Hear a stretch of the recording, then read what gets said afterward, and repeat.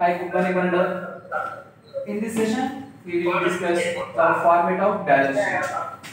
So in that format, so here, as a balance sheet, we have two hands. One hand liabilities, in another hand asset.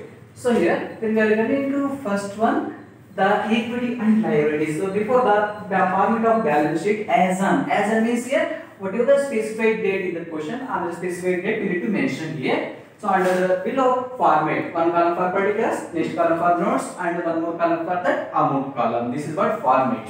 So under that format, the first one equity and liability. So here equity means nothing but capital. So in that first view, already people have discussed. So there is an equation. So assets are equals to liabilities plus capital, right? This is what equation. So here liabilities plus capital. Capital means nothing but here equity, right? So equity and liabilities. Under that first element, we need to discuss what are the various transactions we can record under that equity and liabilities. So here, under first one, the first heading is shareholder funds. So here shareholder funds means first one, first we have to record share capital. Here the share capital whether it be either equity share capital or preferred share capital. The first one share capital. In that amount column just need to write XX value because this is what format only. We don't need to write any values. Second one, reserves and surplus. So here the reserves and surplus means whether including either profit and loss account for the year. All these transactions we can record under this, shareholder funds. The, in the amount column just XX values. So here in this shareholder fund, these much of transactions we can record. So here so in that amount column total we need to make total. These total balance we can call total shareholder funds. This is what we can make as A. So this is what first head in that equity and liabilities. The second one non-current liabilities. Here non-current liabilities means those liabilities are long terms. So here there may be long-term borrowings, long-term borrowings and long-term loans. I mean debentures, all these transactions we can record under in this heading. In that amount column, just show XX values. So under this heading, we can record only long-term borrowings as well as long-term loans, including debentures. So here debentures means nothing but borrowed capital only. So those those loans we are borrowed more than 12 months. That loans we can call as long-term loans and borrowings. So here now we need to total this is what total non-current liabilities have to shown by the graph B value. A means total shareholder funds, B means total non-current liabilities. The next heading here, the third one, current liabilities. So here the current liabilities within the 12 months period of time, those liabilities will be settled. Like here, short-term borrowings first one, short-term borrowings, XX values. Second one, trade payables. So here trade payables means nothing but bills payable or accounts payables. So this is also current liabilities. Here in the trade payables including creditors also. The next one other current liabilities. Other current liabilities as well as short-term provisions. Short-term provisions, whatever the outstanding expenses, outstanding salaries, outstanding rent during there, all these transactions we can record under that other short-term provisions. So now we need to make all these total. So yes, the total balance calculation XX only. So these balance we can call total current liabilities C. So as of now, up to we have discussed total shareholder funds, total non-current liabilities as well as total current liabilities. But now we need to know what is the total equity and liabilities value. So the next one total equity and liabilities will add A value plus B value plus C value. Now we will make A plus B plus C. The total balance we need to record in that amount column only. So these much of transactions we can record under the liabilities. I mean equity and liabilities.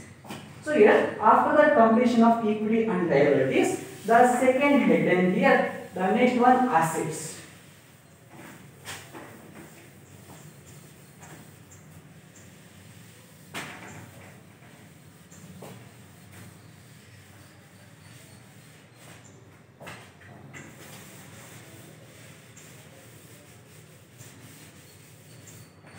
So here the assets can be broadly classified into two categories.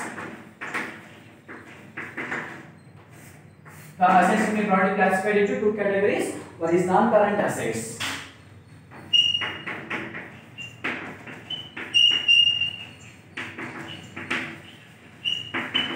Under the non-current assets, we can record different types of transactions. The first one, fixed assets.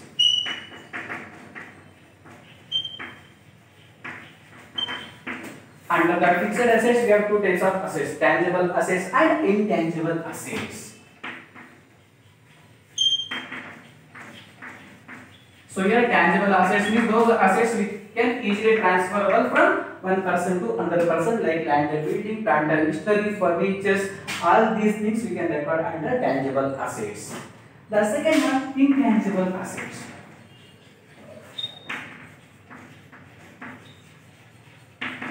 Intangible assets means those assets which we can't able to transferable from person to another person like trademarks, goodwill, copyrights. These are the various examples for intangible assets. So under the fixed assets, there are two types of assets we can record. One is tangible assets, second one intangible assets. The next one other non-current assets.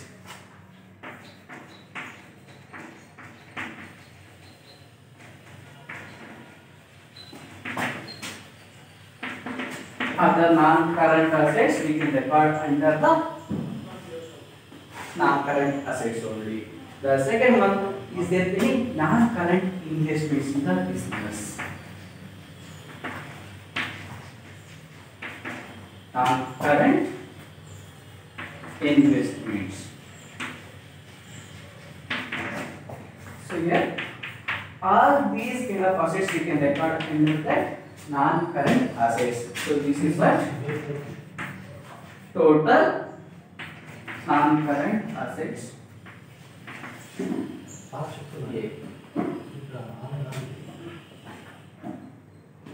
So here all these assets we can record under the non-current assets. So here again under the assets again we have one more type of assets. All the assets we can classify into two types non-current assets and current assets right. The non-current assets all these various transactions we can record. The second one current assets.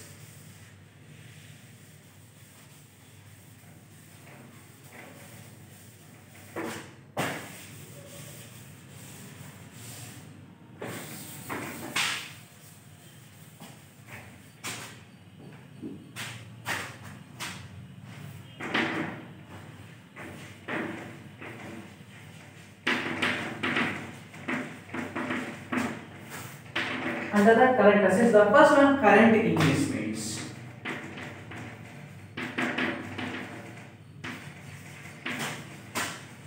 Is there any current investments in the business the day we can record under this areas only. The second one is any inventories. So here inventories means nothing but stock in the business.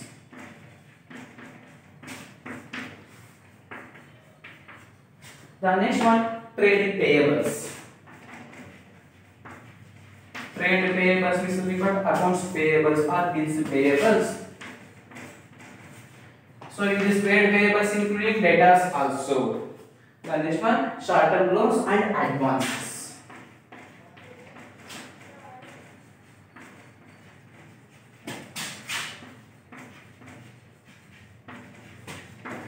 Short-term loans and advances. Finally, is there any other current assets in the business? Means then we can record here. Other current assets. So, all these kind of transactions we can record under the current assets. Now we need to be total. This is what total balance. This total balance we can call as total current assets B. Just we are classified other non-current assets as well as current assets. But we need to know the value of total assets, right? The next step, total assets A value plus B value. So here A means nothing but total non-current assets, B means nothing but total current assets. A means total non other current, I mean previous one I mean are non-current assets and the second one current assets. Both the values now need to make total. This is what total value of assets in the business. So here always assets are equals to liabilities plus capital. So this is what format of balance sheet. So this is what very important. Why? Because for the 6 mark question as well as in the next chapter 12 mark questions, this is what format very important. So in the next session we will discuss the problems are related to this balance sheet. Thank you students.